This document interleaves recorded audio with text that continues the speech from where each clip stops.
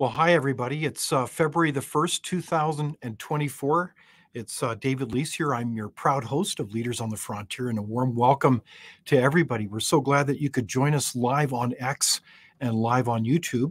We've got a really quite an interesting topic today, and uh, it's all about are we at war uh, with uh, what's called China, the Communist Party of China, to be precise. And uh, it's really quite a, a revealing question as we peel the perennial onion, we're going to go down deep into a lot of different levels of this question. And uh, you probably haven't heard that question posed before. So I hope you bear with us and we're welcoming your comments and your questions. So we're um, delighted by our ever growing audience. In fact, it's amazing. This week we've uh, blown the barrier with um, Apple Podcasts as uh, in the top 50 uh, news uh, podcasts in in uh, in the country. So we're really delighted by that. So keep subscribing and sharing, liking, get into those algorithms that the the uh, so-called tech gods uh, have so much power over. Uh, but we really do appreciate your comments and feedback, and it's really been very exciting. So a warm welcome to everybody. And speaking of which, I want to extend a warm welcome to our special guest, Scott McGregor. Uh, Scott uh, is an author of, uh, of a number of uh, very interesting articles and an, um, analyses and, and, a book called The Mosaic Effect, which deals with this very question. So, welcome, Scott. Hi, thank you for having me, David. Well, Scott, it's great to have you because uh, you are an intelligence professional. You've done a lot of work across uh, the RCMP, military intelligence services, and, and internationally as well. And so, it's with that kind of background and insight that uh, we're going to talk today about um, a very important question, and that is: Is Canada at war with with China? What do you think, Scott? Well, you know, I would like to say that I don't think Canada realizes that we're at war, um, but what we do know is that China is definitely at war with Canada, and we know wow. that. We know that. We there's evidence for this. Yes. Okay, and it's it's not just a little bit of evidence, right, Scott? It's it's um, a, a, a boatload of, of evidence that shows that China's waging war with Canada, but we're kind of what, what the heck? Why wouldn't Canada be aware of this? Yeah, the, there's empirical evidence. Um, one of the biggest ones I think that people are probably most familiar with is the cyber attacks, um, and that you know China is attacking our government institutions in British Columbia alone, just just in British Columbia, six thousand times a minute. Um, and that's all from the state. That's not some kid hacking in his basement somewhere. That's um, wow. That's a government military establishment that's conducting okay, that. So, so the headline is that the CPC, under their state authority, is is got armies of people waging cyber attacks on Canada. Why would they do that? I mean, I know they're doing that right across the West and, and beyond, but why would you be waging cyber attacks on another country like that? Uh, there's there's a number of reasons. Um, part of it is to collect information so hmm. that uh, you know they can further their agendas. the Chinese have come out and stated that they want global domination by the year 2050, um, and and they're taking action um, globally to that to that end. Um, so why why attack Canada? A lot of it is control. A lot of it is about getting inside, infiltrating, um, putting some back doors in. Um, causing disruption. There's there's a number of reasons that they're doing it. Um, it's also an easy backdoor into into the United States, um, and that's what the book is about: is the fact that Canada is such a soft target that we've become a national security threat to the United States. What do you mean we're a soft target? Surely we're we're tough Canadians, aren't we, Scott? What, what are you talking about? I, I, think you know we we like to um, believe that we are. Um, you know, we have an intelligence population, but intelligent population. But the fact of the matter is, we don't have the the means, we don't have the capability or assets uh, to confront the Chinese, uh, let alone enforce any of the the activity that they're conducting. Some of it, this activity is licit, a lot of it is illicit. Um, but you know, our justice system and legislation allows for a lot of this activity to to continue. That's why we have the national inquiry coming up to talk about foreign interference. Um, you know, and foreign interference is just a small portion of hybrid warfare, which is what the Chinese are conducting against Canada. Okay, so this is a bit like an iceberg, if you will. We're seeing only part of it. we see cyber attacks all the time. I mean, it's coming from somewhere, and we know, um, to a large degree, where it's coming from. And uh, China is a big source of it. And we also have, as you mentioned, this week, the launching of Canada's inquiry into foreign influence. It's multifaceted. So, do you have any hope that that inquiry is going to really get at the heart of these issues and and show the kind of um, influence that the CPC has had on past federal elections, and which is clearly a, a big problem, and elsewhere? Is, do you have any hope that that inquiry is going to get at the bottom of it? Uh, to be honest, I, I, I don't. I think there will be things and revelations for people that um, don't know what's going on. I think it will be of interest to them. Um, I think there'll be um, you know there'll be information that's provided that's going to generate some awareness of what's happening i think a lot of it will be explained away though i mean the reason for that is that the corruption and uh, uh, compromise runs so deep uh, that it, it, it will impact heavily all of our political parties um, a lot of our corporations um, you know things that canadians believe uh, are, are still operating efficiently um, and while we can, you know, keep the country running and going, uh, economically we're suffering terribly. Um, and and to blame just the government for mismanagement is is one reason, but I would dare say the intent of the Chinese and, and some other nations um, is is quite extensive. Okay, so we're going to dive into that, but just to make sure we don't miss the headline. So you're saying the inquiry is more about a political message that wow, we're we're we're looking at this issue of Chinese influence now that the cat's out of the bag and people are becoming more uh, aware of this. The people that are running these inquiries, they don't necessarily want to get to the bottom of it because it kind of implicates them. Is that yeah. the risk that we're facing? Yeah. Absolutely. Wow. Um, they've been leveraged into having to do something here, um, and they've been given enough time to start to make some uh, some some manipulations of their own um, the people that are are uh, being given standing uh, are are questionable. Um, the people that aren't given standing speaks volumes. Um, yeah, I think it's going to be another whitewash, just like the BC money laundering inquiry. Oh wow. Okay. Well, let's let's hope you're wrong, but we need to keep our eyes open. So, what do you think in terms of the audience? What do you think is going on here in terms of warfare on Canada and the West, as well as uh, do you see any hope for the inquiry that's uh, that's just been launched this week. Um, and so, as as you think about your questions, we'd love to hear them. Please pose them, and and uh, we'll we'll uh, put them in our discussion here. But I do want to tell you, Scott, you have a very interesting story because um, you've kind of had your own revelation. In fact, I, would say the mosaic mosaic effect, the book that you read, kind of uh, gives a, a, a glimpse into that story of understanding this very issue that Canada is being systematically undermined and attacked uh, by China, obviously not through kinetic warfare, but through other forms of warfare. So, can you tell us in a nutshell how you came to this revelation yourself? Ooh, in a nutshell, it's hard. It you know it, it took a uh, a couple careers, I guess you would say. Um, my time in the military overseas, um, getting an understanding of what transnational organized crime was and how it relates to national security.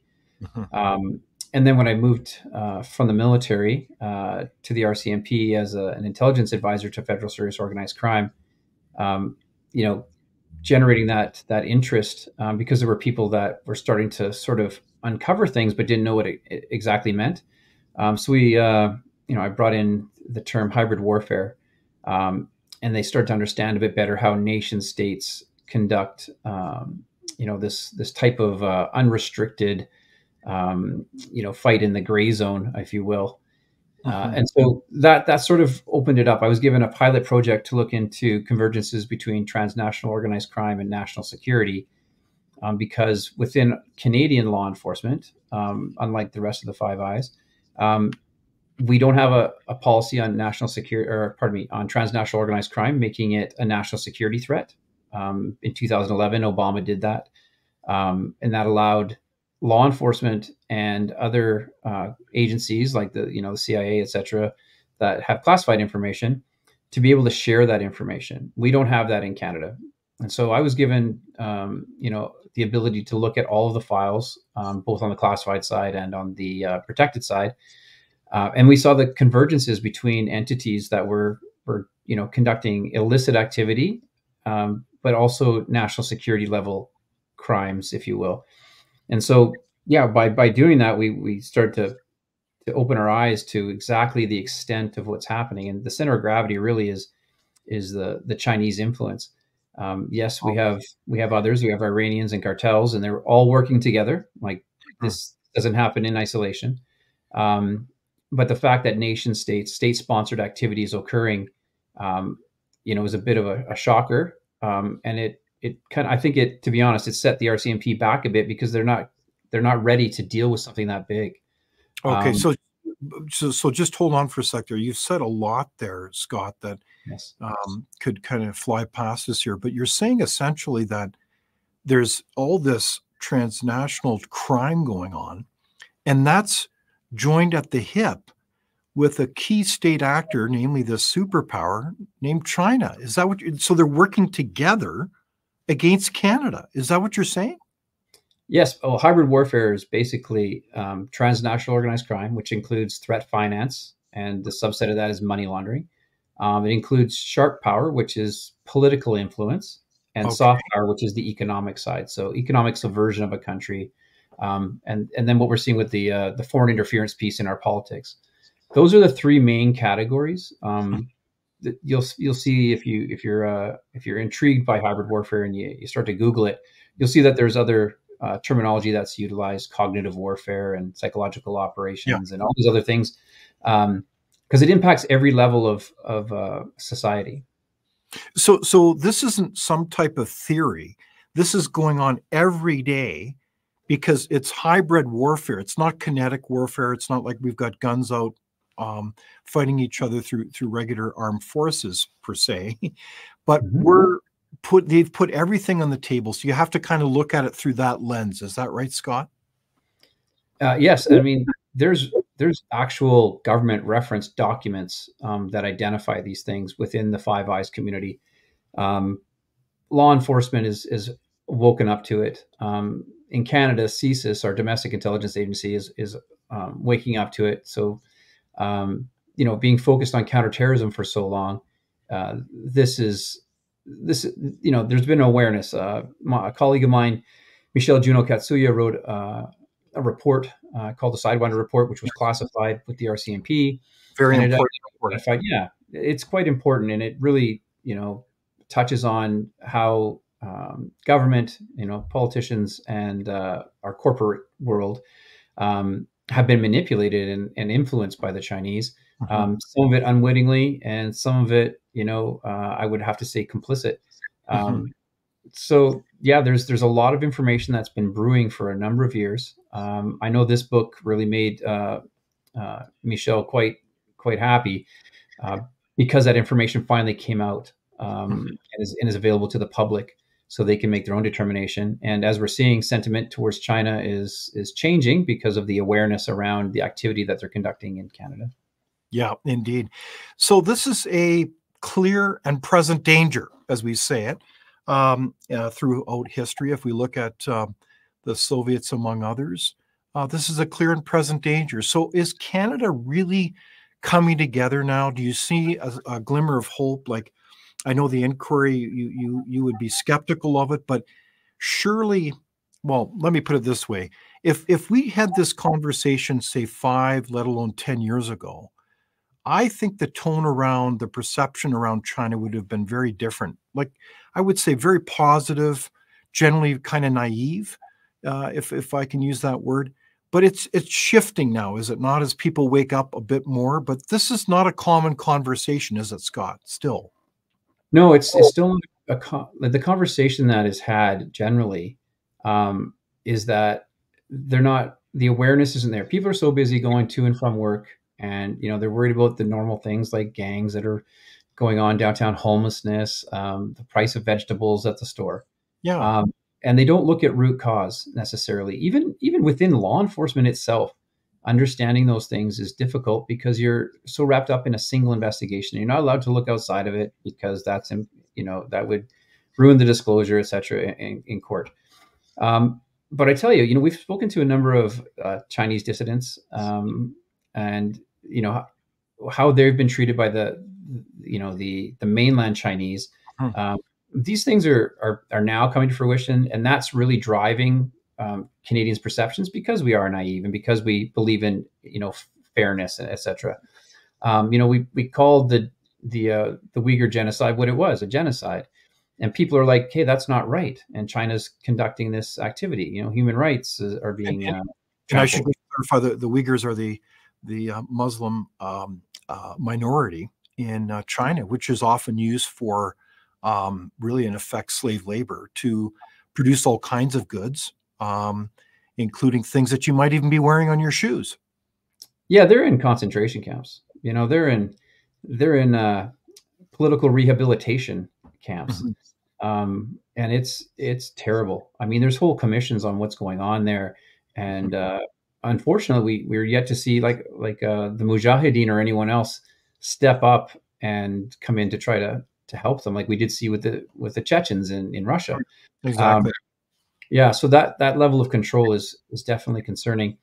Canadian sentiment is is slowly turning, um, but I dare say, whenever we've spoken to Chinese nationals, you know, if when you ask the question if if Canada end up going to war with China, who would you side with? I mean, there's no doubt they go to it with China. It's a superpower, mm-hmm. and uh, and that's scary because you think that you get a taste of freedom, that you're going to want to go with the you know the side that's that's about you know human rights and and uh, and having your democratic uh, abilities to vote people in and that kind of no no they have no interest they know that the chinese are are dominant and they want to see the rise of china so let's uh, talk a little bit more about hybrid warfare if we look at the 360 degree overview of these issues um, we can see a lot of patterns i think what you have often alluded to uh, scott in conversation with you is the art of connecting the dots so if you look at for example, um,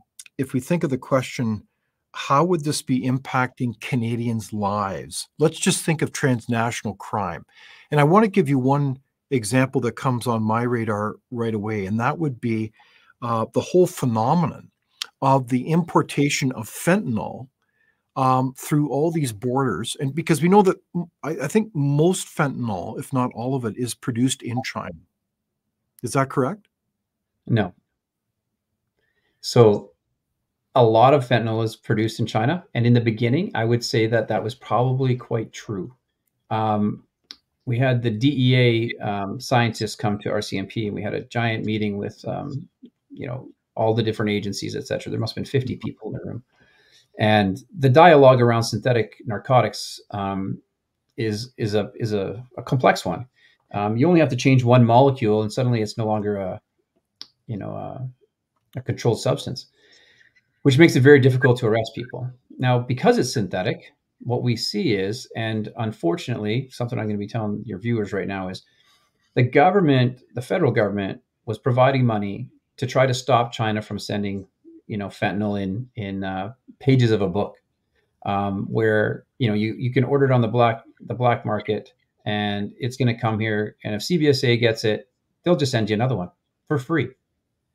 So we, it's very difficult to stop that. So you have a factory in China, and one side is producing legitimate fentanyl for use for hospitals. On the other side, well, that's that's the extra quota that goes out the back door. Wow, uh, and they make more money that way. So, so just to clarify, so a lot of fentanyl is coming in through what, in effect, the parcel mail service, because it's just so small. It's it's so potent um, that uh, that can be divided up and then integrated into, into the drug system is is that part of the dilemma here. So it's very hard to stop this but yet china is is the the majority player when it comes to producing fentanyl is it not? It, it certainly is um, but i'm gonna i'm gonna throw a, a hook at you here and that is precursors are being sent to canada by the truckloads 60,000 tons at a time in sea containers. Um, and those are not illegal and so they they get delivered, and then guess what? We produce our own fentanyl, and wow. it gets exported to Horrible. the United States and everywhere else. Um, the funding for fentanyl was was you know going to uh, to government agencies. And when they found this out, you know, you you need that money to to fight this. Um, and so you couldn't come and say, "Hey, we're also producing this stuff. We are a threat um, to other nations." Australia and the United States have already identified us as a threat to their own countries. This stuff's wow. being sent to Mexico. The worst part is this: in Canada, anybody can buy a pill press. So think about that for a 2nd mm-hmm. So pill presses are how you get, um, you know, green 80s, which are fake oxy- OxyContin pills that mm-hmm. are made with fentanyl. And these overdoses we see quite often are people that were on the medical system for, you know, normal injuries and were given these narcotics, but mm-hmm. they were cut off. And so they had to find it somewhere. And so this was a promise of, you know, pain relief. Unfortunately, two grains of sand size of fentanyl will kill you. And so these pill presses aren't just used for making fentanyl pills. They're used for making ecstasy and everything else. Mm-hmm. So contaminated. They're not hygienic um, by any means. And so you see all these these pills coming out, and you know, 900 people a year in in Vancouver are dying from fentanyl overdoses. Yeah.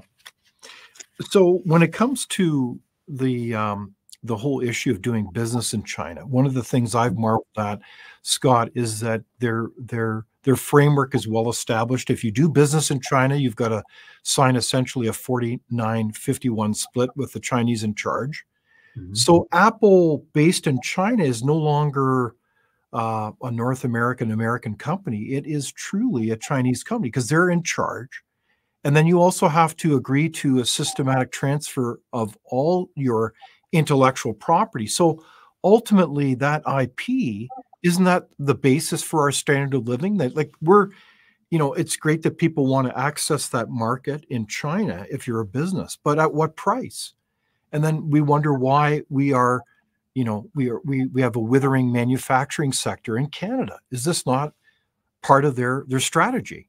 Yes i mean from reverse engineering to intellectual property theft those are those are huge. So the brain drain from the west where we have the, the greatest innovation mm-hmm. um, is being completely absorbed by china who then are able to because they've been in the manufacturing of these you know things that canada needs the west needs um, they're able to to uh, to replicate them. And and oftentimes they'll just they will just create a new name for it. Like you could you can go get yourself a pair of nikes or an apple phone or whatever. Might not be called that but the technology is the same. Mm-hmm. um, the design may be the same.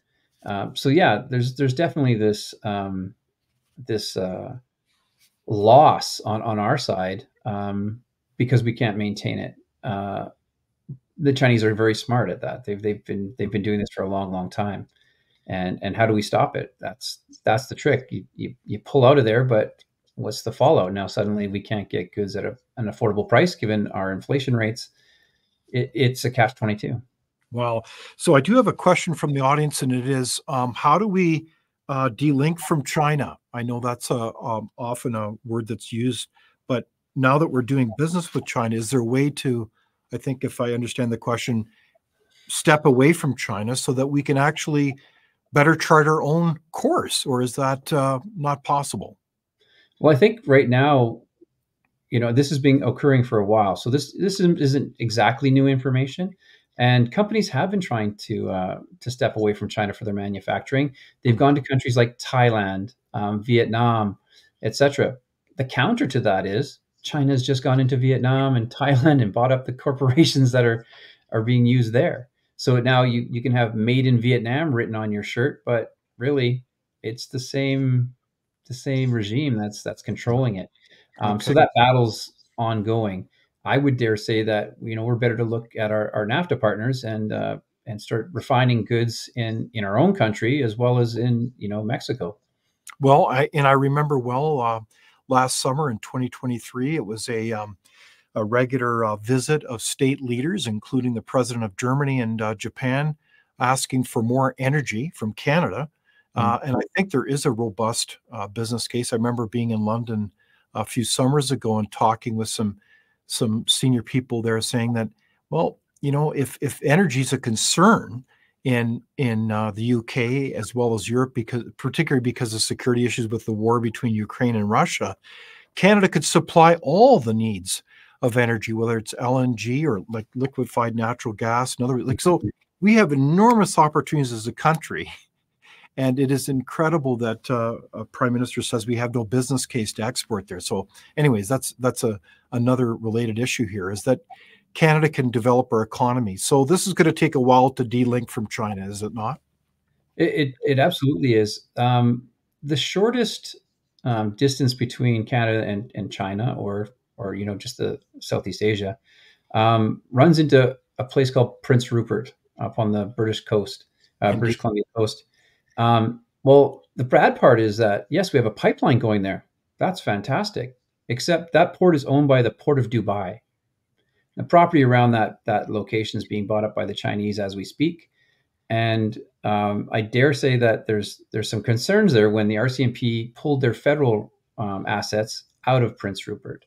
It also has a rail line that is used to distribute goods. So um, there's concerns around us being able to do these things because other people are making money off it instead of nationalizing something um, where Canada gets the you know reaps the full benefit of it. Hmm. Um, so yeah, there's there's still tweaks that we need to do. We have enough natural resources. We should be refining our own goods. Canada should be one of the richest countries in the world. Um, there's no homeless problems. We should have no housing issues. Um, it's it's astonishing, is what it is. It really is. So speaking of energy policy, I do have a question: Is the net zero just transition policies are they actually supporting China versus helping Canada? Well, when you're comparing Canada to China, I mean, Canada is the, the, the greatest consumer of coal in the in the world. So who's polluting the globe the most? And I mean, carbon wise, I mean, Canada is as green as it comes. We have a population of 45 million people in a massive country. So our our our carbon footprint, um, you know, it's it's admirable that you know everyone wants to do their part. You know, um, we don't we don't want the uh, you know the world to be all polluted so that we can't uh, enjoy it. But I mean, you've got to compare apples with apples and oranges with oranges here. Um, if, if those countries aren't doing it and they're know, never going to do it. But if you look at uh, Canada, we are one of the most diversified energy producers, including uh, both oil and gas, as well as uh, hydroelectric uh, power and nuclear. Um, mm-hmm. in fact, uh, 65% of of, the, of Ontario's uh, electricity is produced by the nuclear program. So it's really quite a, a remarkable uh, energy powerhouse. And so the irony is that if we work to shut down our oil and gas industry, which is the the the, the goal of the the current federal policy, then we are ironically importing all these goods from China, and they're produced there with albeit probably very little environmental protection. And so the irony is that we're actually making the environment worse, are we not, Scott? That that would be my estimate too. That um, I mean, petroleum is used in so many products; it's never going away. Um. The fact that you're trying to limit it um, is definitely concerning, um, given the fact that it's used by all of the superpowers that are e- economically stable that require what we have. Um, so are you saving that for when someone else takes us over and then they can like it's it's very concerning that our natural resources aren't being refined in our own country um, and then being sent back to us at a higher cost uh, in the name of trade relations. That's don't get me wrong. It's nice to be friendly with everyone and help them out and you know spread the wealth.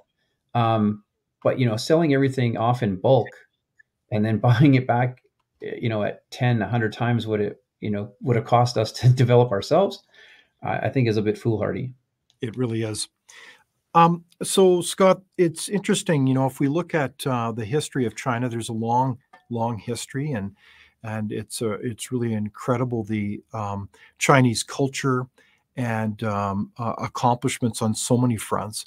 But one of the things that's interesting about Chinese history is that they have an ability to work with neighbors and basically work with the elites of those neighbors to basically get them under influence and control. And you alluded to that as the phenomenon of hard power, the exercise of influence the Chinese have over our elites.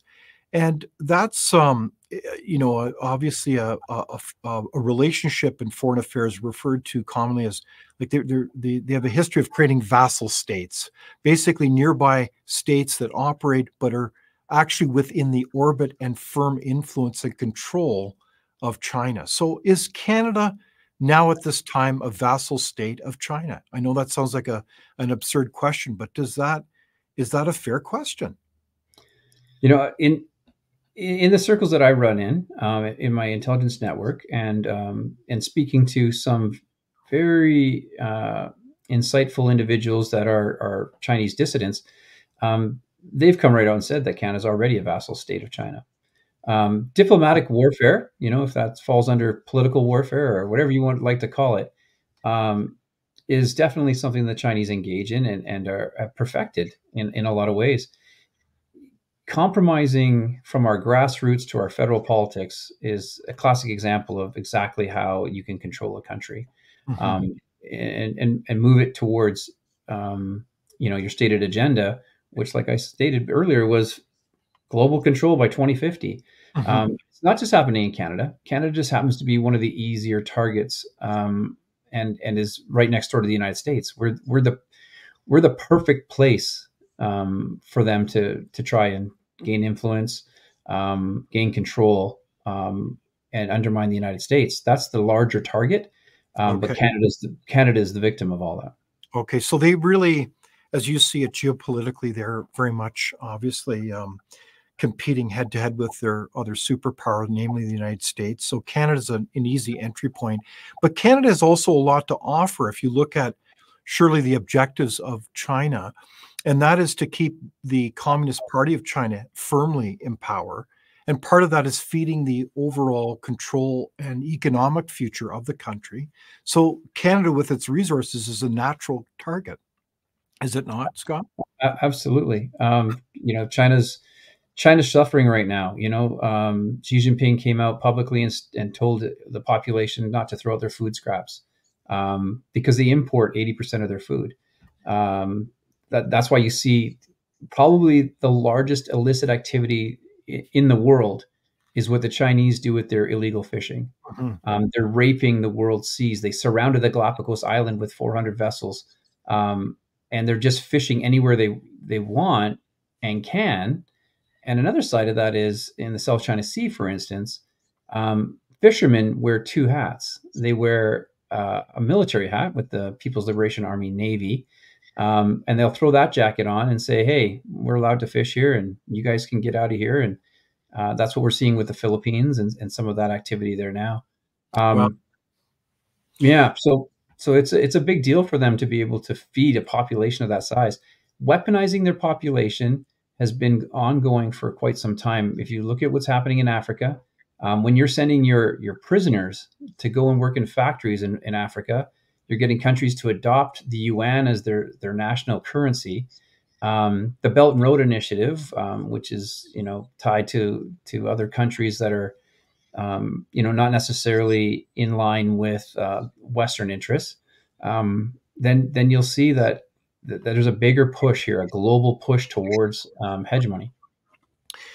So, if we look at, uh, I should just mention again, I'm talking with um, intelligence um, analyst uh, Scott McGregor, and we're talking about is Canada at war with China? Uh, we certainly see lots of evidence of it. It's not kinetic, but it is certainly present if we look at uh, transnational crime and how the state of China is working with them, money laundering, uh, gosh, United Front. I think of also the fact that in Canada, we actually have Chinese police stations. How can this be, Scott? Why are they there? And what are they doing? And why are we putting up with it? Uh, again, so the infiltration of Canada goes into all of our institutions. Um, there are Chinese individuals working for the, the state um, in, in basically everything that we have in Canada. Um, mm-hmm. and whether that's you know using organized crime figures or um, sending people over that go to school that take positions as engineers, um, it's it's everywhere, uh, and that information is required by Chinese law that any citizen uh, or anyone with with uh, ancestry um, is how they look at it um, is required to provide information back to the government. Wow. Um, so we have espionage being conducted all the time. Uh, our awareness of it is is slowly increasing. Um, I'm not sure if people are aware of, uh, you know, the head of the RCMP's intelligence, Cameron Ortis, uh, who's in prison right now. part of that is because he was looking into a file um, that I, I helped with um, with the RCMP, um, and that was tied to, you know, and I would say tied to because it was a couple doors down from um, the location where the largest money laundering case in Canadian history was occurring, which had directly to do with the Chinese, um, and the people that were there were utilizing the uh, the hardware that uh, was provided through that company. Mm-hmm. Um, and then we can look at the fact that uh, Mr. Ortis uh, and who his connections are in, in, the Chinese community, how he speaks fluent Chinese, um, uh, who his mentor was, uh, what's happening at the University of British Columbia, um, where we have United Front figure um, prominently, um, uh, you know, supporting part of the, the university. Um, and I think we touch on this in the book uh, to a certain extent. Um, but naturally, you know, we have to be very careful when it comes to the, the legal side of this, uh, because a lot of these things haven't been tested in court yet. And part of that is because our justice system isn't up to par um, or near comparable to what the United States has. Um, and so you're taking a big risk when you when you start to to cite these things um, because there isn't a precedent precedent. precedent. Um, but we do have you know knowledge that we're not the only ones looking at this stuff. Law enforcement is looking at this. The RCMP is looking at this. CSIS is looking at this, and that's that's in Canada. All the Five Eyes are looking at this. The Australians are looking at what's happening in Canada. The Americans, I work extensively with these guys. Exactly what's going on here. Who are the Five Eyes? Uh, just remind us of that, uh, Scott. The Five Eyes intelligence community is Canada, Australia, Great Britain, the United States, and New Zealand. Hmm. And so that example of Cameron Ortis mm-hmm. is really a, a, a, quite a disturbing example where you had a very senior, really at the highest level, security officer, and this is a, quite a revelation that we just saw the last few months, was um, charged and convicted with uh, treason espionage, as I recall, and I think is serving how long a sentence, uh, Scott? Now, um, I, am not sure if they've actually come up with the the final um, sentencing.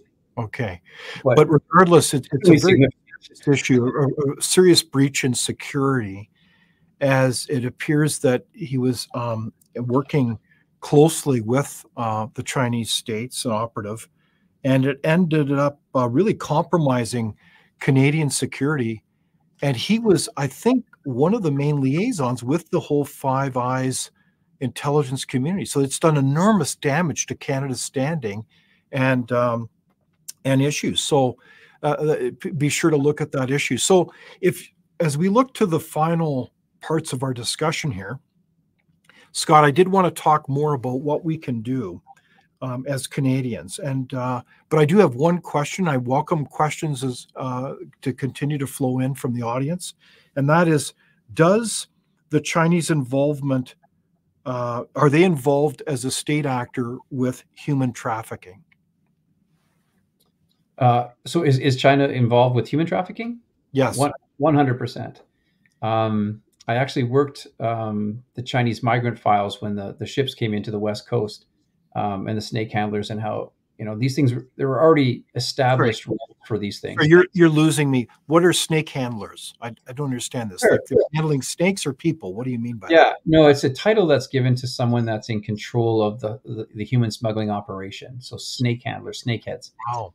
Yeah, and they you know they tend to be the ones that are um, deciding where these people go. A lot of them were headed to the United States, to New York, and other places, um, and they'll mm-hmm. become sex traffickers, or you know they'll work in a fentanyl factory. Who knows? Um, yeah. But yeah, they're they're being used. Uh, they pay their way over, and then they don't end up where they think they're going to end up. Uh, wow. They're and they're you know it's indentured servitude really. Um, but that's and that's one way. Uh, the other way that you know depending on the the term human smuggler, when you're bringing in um, entities into the country illicitly, uh, there was a gentleman that was arrested. Last name was Wang uh, in Vancouver, who had uh, forged like five thousand passports. Um, we have birthing clinics in Vancouver. Uh, you know, where you're flying over when you're eight months pregnant to have your baby in, in Canada, then flying back a month later. Um, so there's there's lots of ways that that you're compromising our, our immigration and uh, mm-hmm. you know, our customs. Yeah. Wow. So um, what I what I find probably a surprise, most people would be surprised by this, is the willingness of the Chinese state to work with really anybody and anybody to get their objectives done. And in the process, really undermine the health of our society. And so, speaking of health, is of course culture. Uh, culture is a big deal, whether it comes to uh, a family, an organization, or even a country. So, and the example that that comes to my mind is Chinese technology, specifically TikTok, as an example, which is really popular um, among a certain um, age set, a younger one. Mm-hmm. And what's remarkable is that TikTok is very different in China versus as it is in North America or the rest of the West. So in China, my understanding is that that TikTok is very focused on patriotism and unity and uh, uh, you know respecting authority, namely the Communist Party of China. Whereas in North America, TikTok's emphasis is on um, absurd things and and, and obviously never-ending uh, cat videos, but also things that relate to um, uh, you know division and hatred. And so October 7, I, I just saw this report coming uh, last week. Um, the number of stories related to the Hamas terrorist group and how they were, in fact, um, uh, uh, being uh, persecuted unfairly rose by thousands of, of percent. So, like, is it a propaganda tool to, to manipulate culture and narrative? And, and are, is the Chinese state, to a large measure, coordinating and working behind that? So the answer is yes. Um, TikTok is is uh, one piece of technology that's utilized by the Chinese um, and others. Um, but that subliminal messaging is definitely something that they've been working on for a, a long, long time. Um, now, you say, you say sublim, subliminal messaging, so is actually using our minds against us, some measure. Co- cognitive warfare, um, um, psychological operations, mm-hmm. influence operations.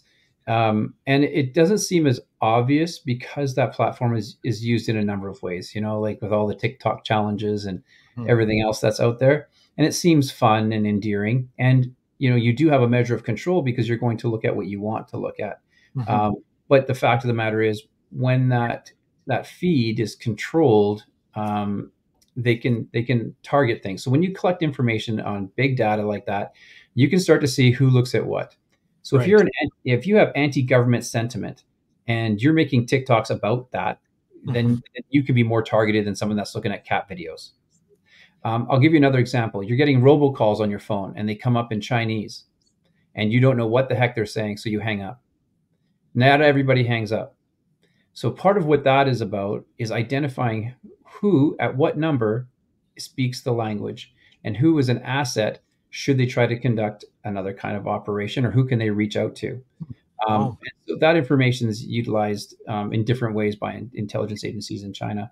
Um, yeah i mean there's social credit and corporate credit that's there are also considerations. Um, you know i wrote an article about uh, uh, a hot pot place in vancouver that went viral in taiwan and india mainly in taiwan australia i did an interview with sky news on it um, and they had over 60 casino level cameras inside. And this is in downtown Vancouver, basically. Um, and here you are, you know, you go in there and they're recording what you're saying, who you're talking to. Um, when we interviewed the manager, he said it was being sent, the information was being sent back to China um, to their to their uh, security services. And then they thought they were going to sue us, and they didn't. Instead, they during COVID, when no one could even really hardly go in there, um, they decided to do renovations, and they took out all the cameras. No kidding. There's 900 of these all over the all over the world. Um, yeah, so that was about social, social Sorry, credit. 900. So, so to be clear, there, so the state there is monitoring systematically um, emigres and others right around the world. So this is this is really quite a, a massive operation. Oh, there's, I mean, it, it, goes much deeper. I mean, depending on how, how deep you want to go. I mean, this this speaks to um, you know collecting DNA from every individual that they can in the world, um, or imagery. So if you you want facial recognition software that can recognize everyone in the world, uh, I can you know I get a picture of you, I can tell you who you are um, based on that data set. Um, so there's there's a lot going on in China. Um, they they still believe in the master race. piece. Um, Pardon me? Uh, I'm, I'm oh, sorry, I'm not aware of that. Yeah. Oh, yeah. Um, so yeah, the Han Chinese um, believe that they are a master race, um, and and they're looking at ways to Im- improve their their DNA and um, you know advance advance their uh, their biologics. Um, there's a lot of a lot of things that are going on right now. Um, I think hmm. you'll see some of the biometric stuff come out um, in, in, the news soon. Um, there's been some arrests uh, in the United States related to these things, um, but but yeah, there, there's there's more similarities to what we saw with the Germans in the Second World War than people want to admit. Wow. Um, I mean, you're cloning animals, and then you you, you say you you're not going to clone humans, and mm-hmm. yet, you know, that was how many years ago? Twenty wow. years. So um, if, if we look at things that we can do, like if mm-hmm. we mm. think of policy prescriptions, I mean, we've got this inquiry. It, you know, uh, it, it looks a little bit shaky in terms of its ability to really get at things. But surely awareness is a key part of this. We need to wake up with our eyes open when we can actually see. Mm-hmm. But we also need to do other things and pay attention to, uh, well, should we be using TikTok? Probably not, Scott. Um, what are things that we can be, be doing here, Scott, to turn this ship around and, and getting things together, like rebuilding our military, for instance? Yeah, the creating creating the dialogue is the biggest one, and and uh, you know taking steps towards you know having our elected officials actually do what we ask them to do, mm. and holding them accountable. You know, you'll see protests in France where they're burning houses and turning things over because they're upset about their pension, um, and yet in Canada, you know, we try to protest something and suddenly the government puts the Emergency Measures Act on, which you know, as we know now, was illegal we we are not the outspoken, um, forceful people, uh, but we we do have power. And the people that have always been quiet and gotten along and just gone with it and just you know wanted to work hard and and hope that uh, you get to retirement, those days are starting to end, and you really have to start to speak up and and you know speak truth to power because this stuff isn't going away. They count on us not doing anything about it. They count on us not making any changes, you know, to our enforcement, uh, our justice system, our legislation, or delaying it or um, deflecting it. And that's what you're going to see in this national inquiry. Um, even the recommendations, I'll tell you right now, the recommendations that come out of this um, are going to be minimal. They'll be managed, um, and just like they were with the inquiry for uh, for money laundering. Wow. So you're really challenging us, Scott, to wake up, open up our eyes, not to be passive, um, and to realize that there's a lot of aggressive actions being taken by the Communist Party of, of China against the West, including Canada. And one of those things that that behooves us to ask, well, what about our institutions? You've talked about elected officials. What about um, the post-secondary side, the universities? Are have you uh, documented or a lot of evidence that that those places have been infiltrated with a lot of operatives? Oh yes, there's there's tons of uh, reference material out there right now um, in academia, um, in the media. Uh, uh, exactly to what you're speaking to is that those those institutions have been infiltrated heavily. In, in the media, what do you mean by that? Uh, in the media, I mean that there are news articles um, covering, you know, investigative journalists that have, have delved into these things, um, you're going to look at a lot of universities in the United States and Canada that are mm-hmm. completely compromised. Um, in so, fact, I, I would so, dare say there are professors at some of these universities that are frightened. Yeah, and and and so we know a lot of um, cases about this. We're probably only scratching the surface. I think of um, just this past year, um, the the charges um, and convictions of uh, senior faculty um, uh, at a number of universities, including Harvard, for uh, being systematically on the payroll of of mm-hmm. uh, the Chinese and and and um, sharing and and systematically transferring uh, research and knowledge to those agencies. So it, it's shame on them. I mean, it's it's just criminal what's been going on here. So we've taken a really hands off, naive view of this relationship. So it's about time that we ask our government to get on it. It's not just the inquiry, but it should be a full court press uh, to what? Formulate a team on this, Scott? What would you do? Like basic um, defensive action is to create a team and find out what the heck's going on, isn't it?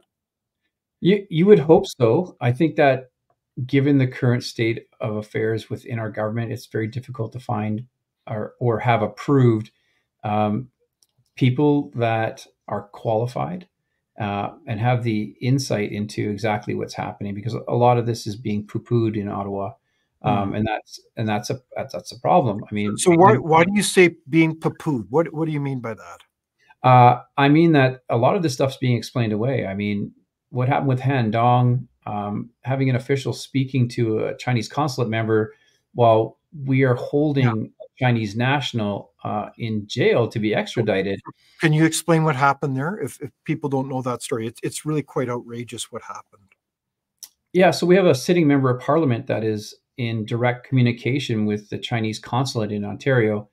Um, and, and Lord knows what they're discussing. I mean, there's a lot of uh, mm-hmm. assertions that have been made, and you know, CSIS statements that have been apparently leaked, um, and and the fact that they're having conversations at all um, during a time when we're holding uh, a Chinese national on uh, criminal activity, um, which I'm going to bring up, relates to Iran. Okay, so this is about China working with Iran, um, which is one of their allies.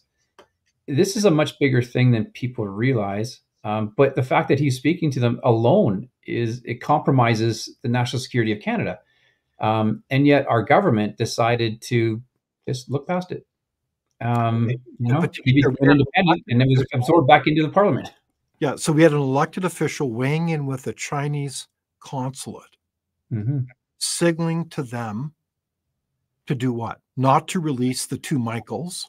Remember, the the two Michaels were were uh, essentially kidnapped in China on on uh, false charges or or supposedly, and they were being held hostage in prison for well over a year. Mm-hmm. And there was an election coming up, and this elected official signaled to the Chinese, whatever you do, make sure that you don't release them now. Is that right? So that's, I believe that's what's alleged to have been said. I don't, I, I can't speak to that specifically. Okay. I know that there's a lot of controversy around that. I can tell you this: it's not the first time the Chinese have done the same thing. Um, there's a man named Bin Su out of Richmond uh, who was spying on Boeing. Uh, the Americans had us extradite him back to back to the United States. Mm-hmm. The Chinese kidnapped two Canadians then too.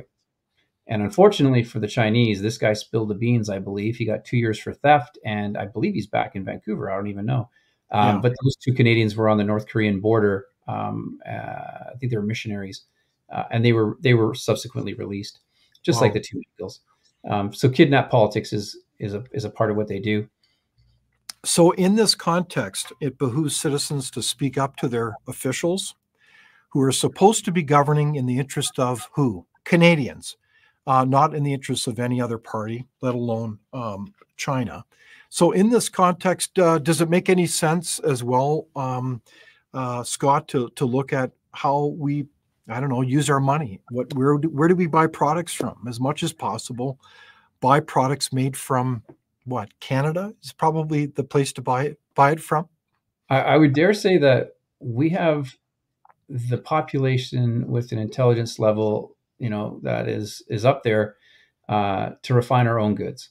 Um, and if it's it's a matter of uh, you know finding the labor, well, we we joined NAFTA for a reason, and you know we still have a disparity with the peso. I would dare say Mexico would be the the perfect place for us to be to be doing business. It's closer. Uh, you know, we can send stuff by rail and by truck if we need to. Hmm. Um, and you know, Mexico's a partner of ours. We're, you know, that's that's you know that's just one opportunity. I would dare say there's others, um, but you don't you don't want to necessarily be doing the level of business that we're doing with um, what we consider an enemy. They're a threat nation. They're not our friends. They're a communist country. You know, it's it's not. when when the people were leaving Russia, and, you know, during uh, the Olympics or something like that, what do we call those people? Defectors.